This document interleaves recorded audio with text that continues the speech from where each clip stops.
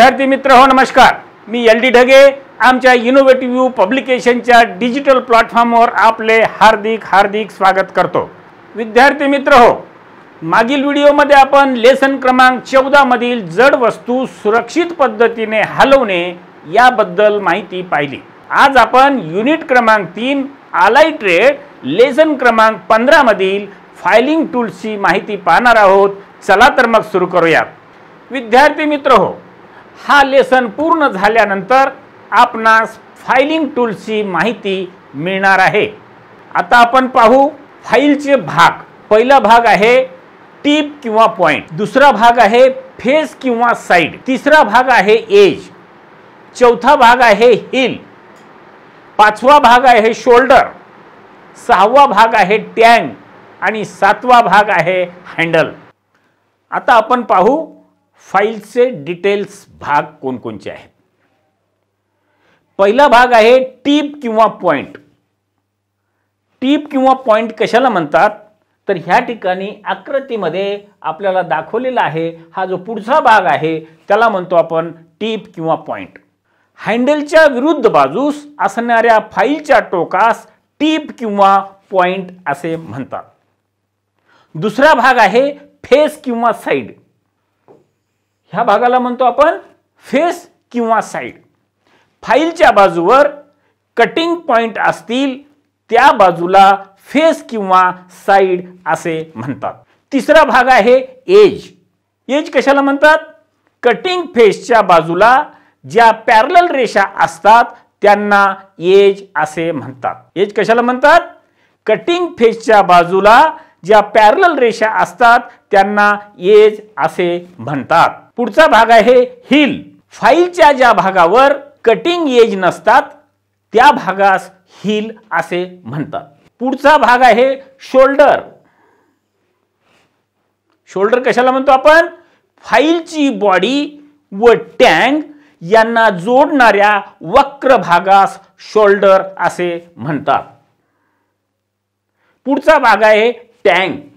जो हा आहे. हँडल बसवण्यासाठी असणाऱ्या निमुळत्या टोकावर किंवा निमुळत्या टोकास टँग असे म्हणतात. ह्या ठिकाणी पहा वक्र करून दाखवलेला आहे. या भागाला म्हणतो आपण टँग. पुढचा भाग आहे हँडल. फाईल धरण्यासाठी टँगवर बसवलेल्या लाकडी मुठीला आपण काय म्हणतो? हँडल असे म्हणतो. आता आपण पाहू फाईलचे वर्णन ज्याला म्हणतो आपण फाईल स्पेसिफिकेशन. फाईलचे वर्णन पुढील बाबींच्या आधारे करतात. पहिलं आहे लांबी. दुसरं आहे ग्रेड तिसरं आहे कट आणि चौथा आहे आकार ज्याला आपण म्हणतो सेप आता आपण पाहू लांबी ज्याला आपण म्हणतो लेंथ फाईलचे टीप ते हिलपर्यंतचे अंतर म्हणजे फाईलची लांबी होय. ही तीनशे मिलीमीटर दोनशे पन्नास मिलीमीटर दोनशे मिलीमीटर एकशे पन्नास मिलीमीटर किंवा शंभर मिलीमीटर असते. उदाहरणार्थ या ठिकाणी जो भाग दाखवलेला आहे याच भागाला आपण काय म्हणतो?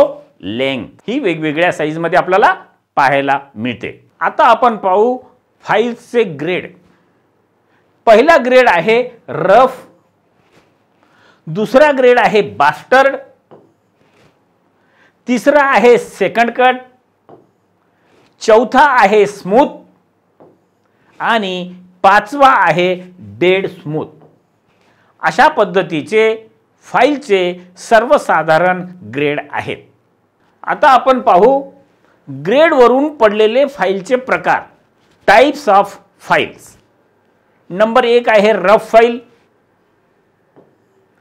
नंबर दोन आहे बास्टर्ड फाईल नंबर तीन आहे सेकंड कट फाईल नंबर चार आहे स्मूथ फाईल आणि नंबर पाच आहे डेड स्मूथ फाईल आपल्यासमोर जी फाईल दिसते ती फाईल आहे रफ फाईल रफ फाईलचा उपयोग आधीचे मटेरियल कमी वेळात काढण्यासाठी रफ फाईलचा उपयोग करतात. आणि याला म्हणतो आपण रफ फाईल आपल्या पुढे चित्रामध्ये दिसत आहे बास्टर्ड फाईल. सर्वसाधारण वापरासाठी बास्टर्ड फाईलचा वापर करतात. पुढची फाईल आहे सेकंड कट फाईल फिनिशिंगसाठी सेकंड कट फाईलचा उपयोग प्रामुख्याने या ठिकाणी केला जातो. पुढील फाईल आहे स्मूथ फाईल. कमी मटेरियल काढण्यासाठी व पृष्ठभाग फिनिशिंगसाठी स्मूथ फाईलचा वापर करतात. ही फाईल आहे डेड स्मूथ फाईल. अधिकच्या फिनिशिंगसाठी डेड स्मूथ फाईलचा उपयोग केला जातो. आता आपण पाहू फाईलचे कट कोणकोणचे आहेत. दात्याच्या रोनुसार फाईलचे कट निश्चित केले जातात. त्याचे प्रकार आहेत सिंगल कट दुसरा आहे डबल कट तिसरा आहे रासकट कट आणि चौथा आहे कर्व कट अशा पद्धतीचे चार कटचे प्रकार आपल्याला दिसून येतात. आता आपण पाहू सिंगल कट सिंगल कट कशाला म्हणतात? या फाईलच्या पृष्ठभागावर साठ अंश कोणात दात्यांची रो एका दिशेत असते. लेड टीन ॲल्युमिनियम यासारखे सॉफ्ट मटेरियलसाठी या फाईलचा वापर केला जातो. पुढचा कट आहे डबल कट. या फाईलच्या पृष्ठभागावर पन्नास अंश ते साठ अंशच्या कोणात व पंच्याहत्तर अंशाच्या कोणात दोन दिशेत दातांच्या रो असतात. स्टील ब्रास ब्रांज यासारखे कठीण धातूसाठी या फाईलचा वापर केला जातो. पुढचा कट आहे राफ कट. या फाईलच्या पृष्ठभागावर एका रेषेत स्वतंत्र टोकदार दाते असतात. लाकूड चामडे यासारखे सॉफ्ट मटेरियलसाठी या फाईलचा उपयोग करतात. ही फाईल फक्त हाफ राऊंड आकारामध्ये मिळते. पुढचा कट आहे कर्वड कट.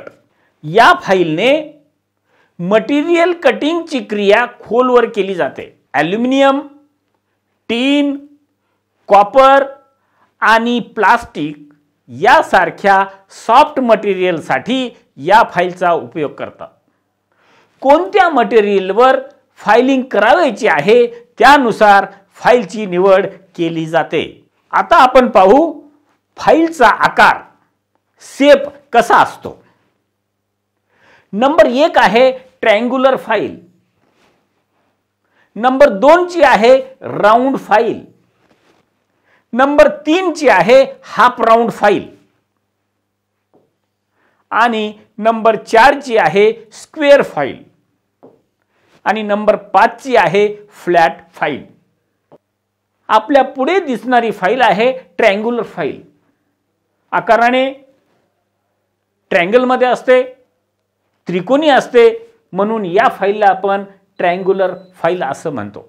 आपल्या पुढे ती दिसती ती फाईल आहे राऊंड फाईल. या फाईलचा आकार गोलाकार असतो. म्हणून या फाईलला आपण राऊंड फाईल असं म्हणतो. या फाईलचा उपयोग होलला मोठं करण्यासाठी ह्या फाईलचा वापर आपण प्रामुख्याने करतो. पुढील फाईल आहे हाफ राऊंड फाईल. या फाईलचा आकार एका बाजूनं प्लेन असतो आणि एका बाजूनं हाफ राऊंड असतो. म्हणून या फाईलला आपण काय म्हणतो? Half round file. पुढील प्रकार आहे स्क्वेअर फाईल. ही आकारानं चौकोनी दिसते. या फाईलचा उपयोग चौकोनी होल आयाताकृती होल मोठे करण्यासाठी उपयोग केला जातो. या फाईलला म्हणतो आपण स्क्वेअर फाईल. आपल्यासमोर जी दिस दिसते ती फाईल आहे फ्लॅट फाईल.